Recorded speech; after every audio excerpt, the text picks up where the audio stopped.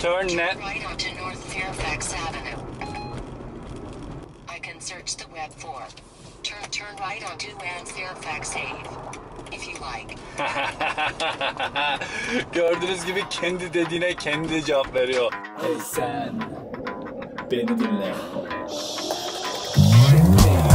beş kere bin biri kere test etmeden bırakmam Aynı kaygılar beni al gaz yalan fonunu unutma. Yollara düşmeden bizi zor bekmene çakallara yem olma. Sonradan pişman olma. Bak vallahi billah Turistini gerisi verisini incelemeden bırakmam Başkası yapmadı hiç böyle tesiri çamaklardan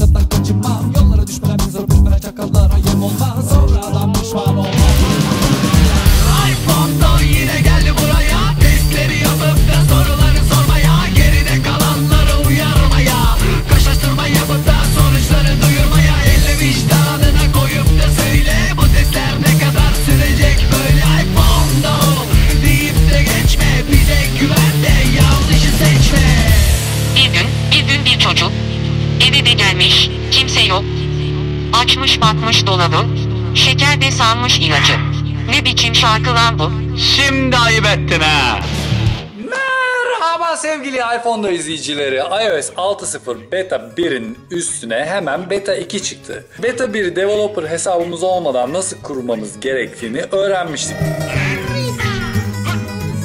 iTunes 10.6.3 iOS 6 firmware 5.1.1 alt option update update ve cihazınız açılıyor. Allah yok diyor. Elinizi falan çekin. Çarpılacak.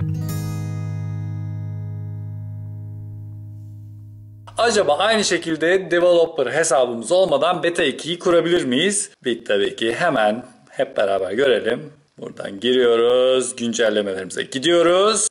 Bir adet güncelleme var diyor. Detaylarına bakalım. Kestantana iniyoruz. İndir ve kur diyoruz buradan. Sen ne dersen öyle olsun diyoruz. Pilden tasarruf etmek için elektriğe bağlayın. Elektriğe bağlamadan devam etmek istiyor musunuz diyor. Evet elektriğe bağlamadan devam etmek istiyoruz diyoruz.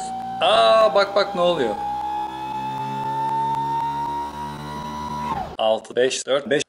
Güncellemeyi hazırlıyorum demeye başladı. Çarklar dönüyor. Apple Belediyesi çalışıyor. Birçok arızaların giderildiğine dair bir ibare var ekranda. Gelen gelen lan kızlar Öpem öpem Gelen iOS 6 Beta 2 kendi kendine kurulma başlayacak diyor. Çok heyecanlı bir bekleyiş. Ben de heyecandan bayılmak üzereyim. Ses tonumdan da anlayacağınız üzere. Çubuk gitti. Logomuz geri geldi. Bir çubuk daha geldi. Umarız bu çabuk çubuktur. Kendisi pek çabuk çubukmuş gibi gözükmüyor. Çubuk son anda atağa geçti. Gideceği yere vardı. Sevgili iPhone'lucular telefonumuz açıldı. 6.0 Beta 2'ye geçmiş bulunuyoruz. Developer hesabımız olmadan. Bu güncellemeyi de gönül rahatlığıyla yapabilirsiniz ve iOS 6.0 Beta 2'ye rahatlıkla geçebilirsiniz. Peki iOS 6 Beta 2'yi kurduk. Beta 1'e göre neler değişti? Şimdi buna bakalım. Telefonun dilini Türkçe'ye çevirdim. Yeniliklerden bir tanesi ayarların altında fotoğraflar ve kameranın orada paylaşılan fotoğraflar geldi. Bunu açtığınız zaman iCloud'da fotoğraf paylaşabiliyorsunuz. Bunu da hemen nasıl olduğuna bakalım. Fotoğraflarımıza girelim. Şunu seçelim ve paylaş diyelim. Paylaş dediğiniz zaman bu arada değişikliklerden biri gördüğünüz gibi Twitter'ın ikonu değişti. Paylaş dedikten sonra bunu fotoğraf yayını seçiyorsunuz. Ve kimle paylaşacaksınız çıkıyor. Hemen buraya bir adres girelim. Burada herkese açık yapabiliyorsunuz. Tabii ki herkese açık yapmak istemiyoruz. Paylaşıldıktan sonra fotoğraflarınıza gittiğinizde, fotoğraf yayınına girdiğinizde burada logolar diye paylaşılan fotoğraf çıkıyor. Tweet gönderdiğimiz pencerede biraz değişiklikler olmuş. Onu deneyelim. Send tweet. What would you like to say? Hello, how are you? Okay, bye bye. Here's your tweet. Ready to send it? Cancel. Okay, I won't send it. Onun dışında hücresel ayarlara iCloud belgeleri, iTunes, FaceTime ve okuma listesi geldi.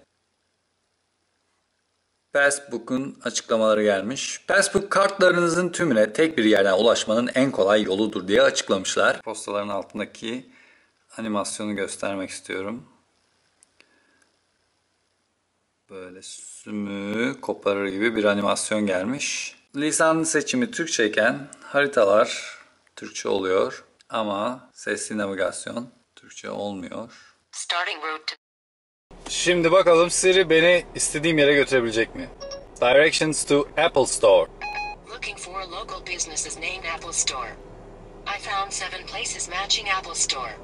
Tap the one you want directions to. Hemen seçiyorum. Getting directions to Apple Store, The Grove. Starting route to Apple Store, The Grove. Head southwest on Santa Monica Boulevard.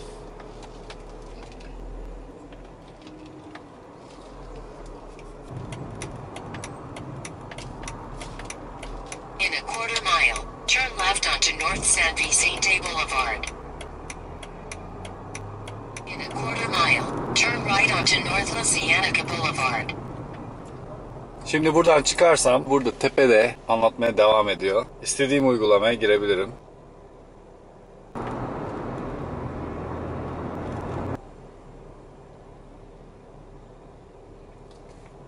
Telefonu kilitlerseniz de kilitli olan ekranda harita çıkıyor. Bakın şimdi bir şey yapmam gerektiği zaman devreye girecek.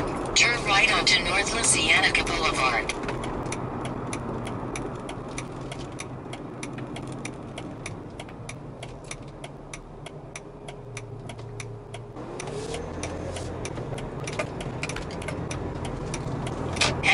Northeast on North Cienega Boulevard. In one mile, turn left onto West 3rd Street. Şimdi mesela yanlış bir sokağa sapayım. Rerouting. In 200 feet, turn left onto Westmont Drive. O sola dedi diye sağa döneceğim. Bizde böyle. Bana ne yapacağımı söyleyemezsin Siri. Rerouting.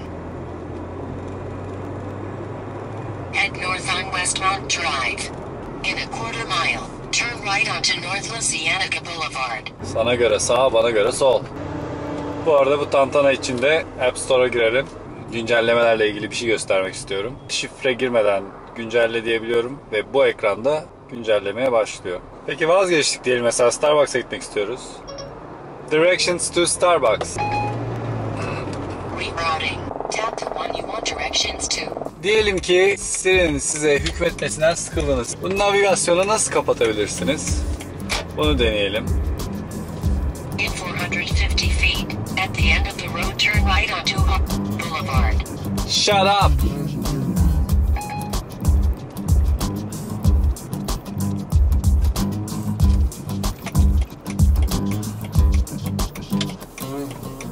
Sanıyorum bu şekilde kendisini çok güzel susturabildik.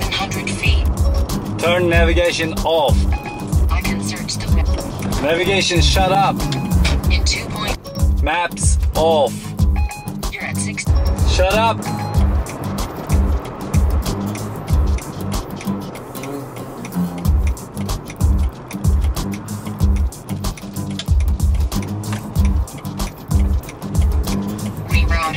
Bak navigasyonu bu şekilde kapatamıyoruz. Kendi kendine vır vır cır cır konuşuyor. Evet arkadaşlar lütfen şuralardan kanalımıza üye olmayı ihmal etmeyin. Şuralardan bize yorum yazın. Deyin ki iyiymiş, Beta 2 daha iyiymiş, Beta 1'den daha iyi olmuş. Ben Beta 2'yi kurayım. Bize düşüncelerinizi anlatın, edin. Bizimle paylaşın. 50 feet. Ulan sus! Hoşçakalın!